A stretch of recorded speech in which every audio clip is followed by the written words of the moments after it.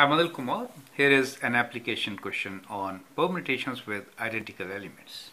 The question for you is, you have to travel 3 blocks north and 5 blocks east to reach from point A to point B.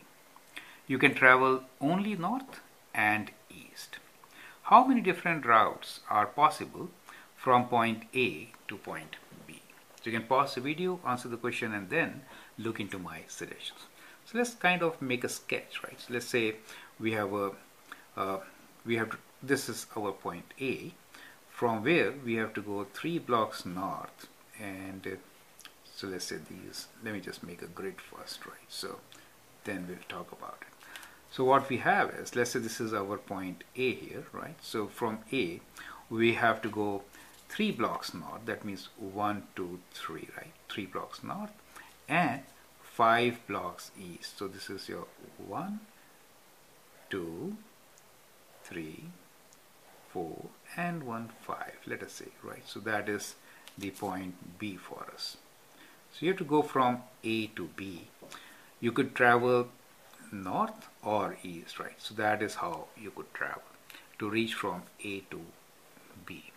Now you need to find how many different routes are possible to reach from A to Right? So now at least what you have to do is you have to go one, two, three up and then one, two, three, four, five on the right, right? Five blocks. It is from here one, two, three, four, five, correct? So you go three up. So one, two, three, and then you go five, six, seven, eight. I mean, uh, three and five should be eight, right? So, so one, two, three, 4, 5, 6, 7, 8, right? So you reach point B. So what you have in this case is n is equal to 8, right?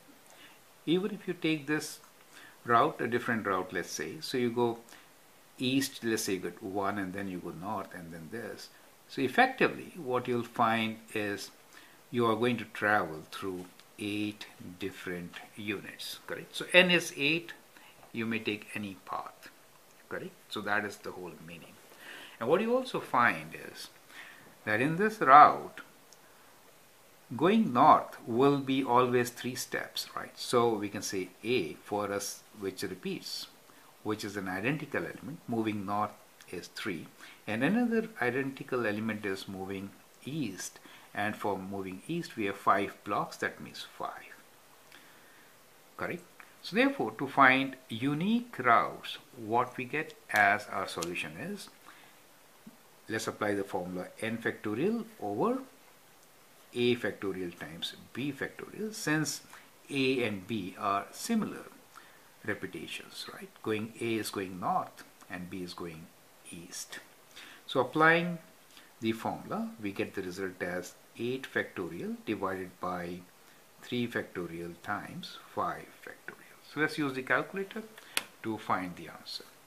So we have 8 factorial divided by within brackets 3 factorial times 5 factorial bracket close equals to 56.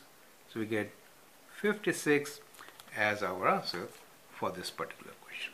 I hope you understand the basic concept now how to apply this formula for identical elements and find the number of rows. I'm Anil Kumar. You can subscribe and learn from my videos. Thank you and all the best.